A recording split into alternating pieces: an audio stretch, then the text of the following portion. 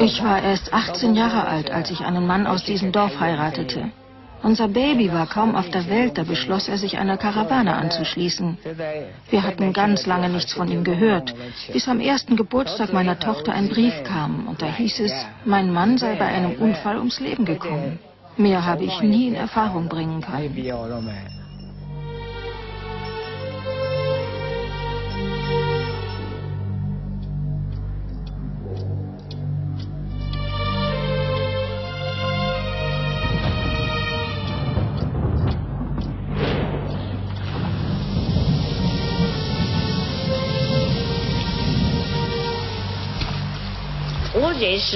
Die Frauen, die sich in dieser Situation befanden, waren alle sehr couragiert und tüchtig.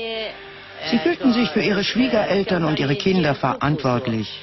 Sie fertigten Stickereien an, verkauften sie und übernahmen alle möglichen anderen Arbeiten.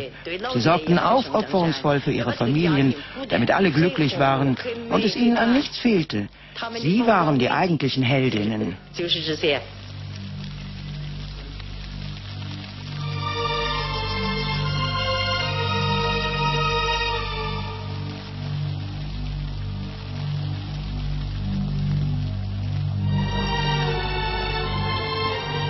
Ihnen zu Ehren haben die Familien diese Tore errichten lassen, die das Dorf umgeben. Zur Erinnerung an die vielen treuen Frauen, die auf ihre Männer gewartet haben und für ihre Kinder und die Schwiegereltern große Opfer brachten. Deswegen haben wir diese Tore.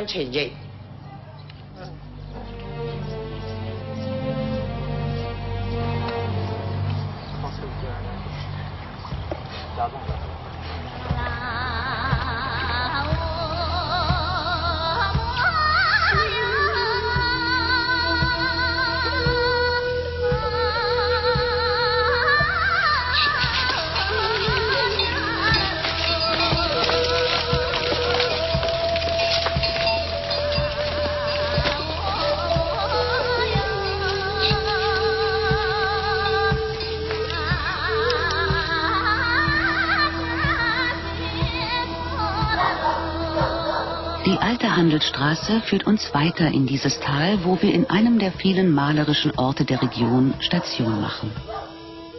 Wir haben das Glück, bei der traditionellen Herstellung von Tofu zusehen zu dürfen. Die ganze Familie macht sich ans Werk.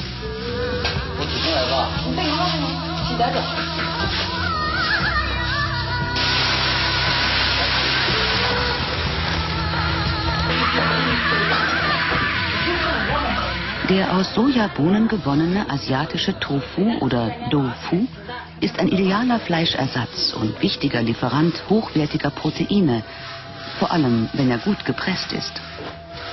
Das rein pflanzliche Nahrungsmittel ist nicht nur cholesterinfrei, es enthält im Gegensatz zu Fleisch auch ungesättigte Fettsäuren, die sich wiederum günstig auf den Cholesterinspiegel auswirken.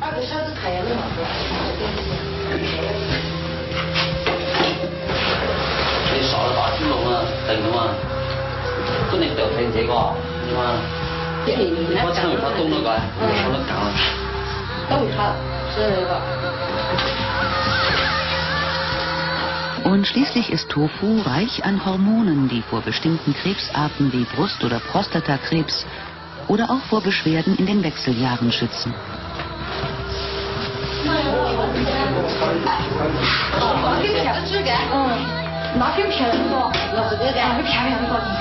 bin doch ganz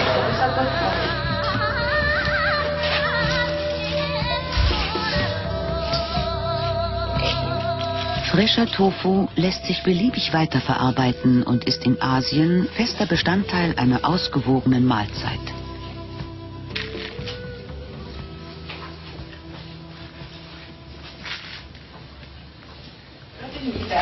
Den Pferdeführern der Teekarawanen bescherte der vielseitige Bohnenquark während ihrer sechsmonatigen Reise einen abwechslungsreichen Speiseplan.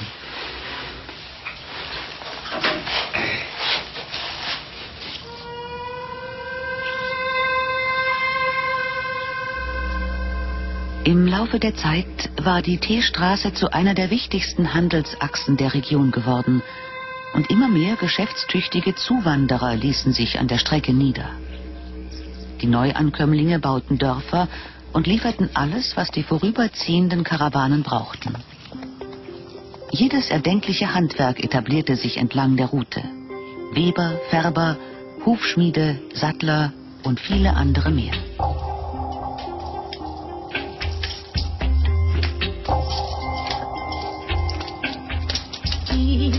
雪山说过你在山上等我啊啦在山上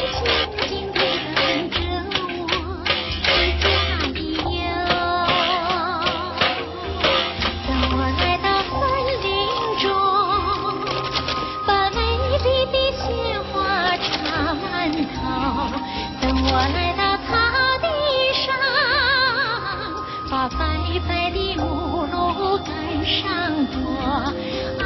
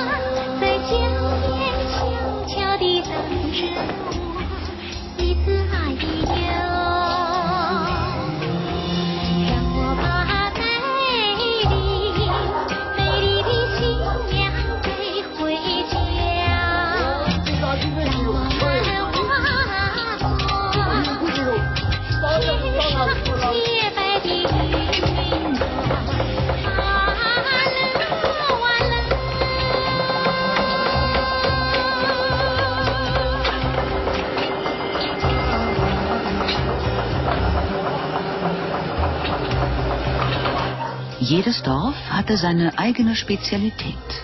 So auch Longzhou, das noch heute für seine Papierherstellung bekannt ist.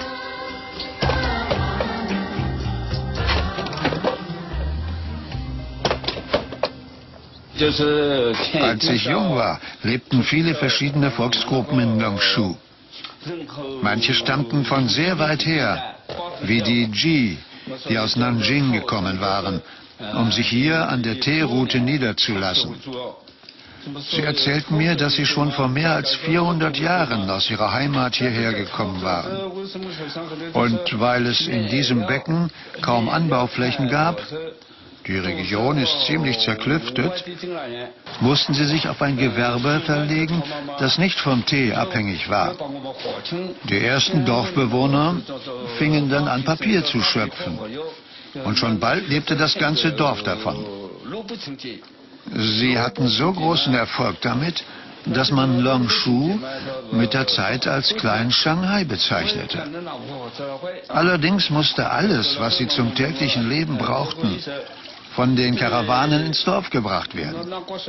Hier wurden die Waren dann getauscht und weiterverarbeitet. Wir handelten Papier gegen Tee. Und so kam unser Papier mit den Karawanen nach Lijiang in unsere Handelszentren. Dort wurde das Packpapier für Tee verwendet.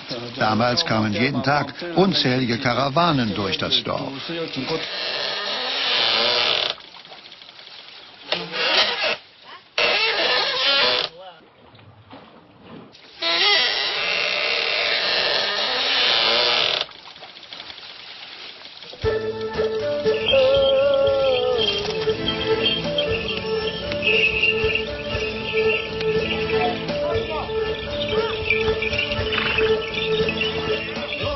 Gleich, wo die Karawanen sonst noch Station machten, nach Dali kamen sie alle zum alljährlichen Pferdefest, das hier seit mehr als 1500 Jahren gefeiert wird.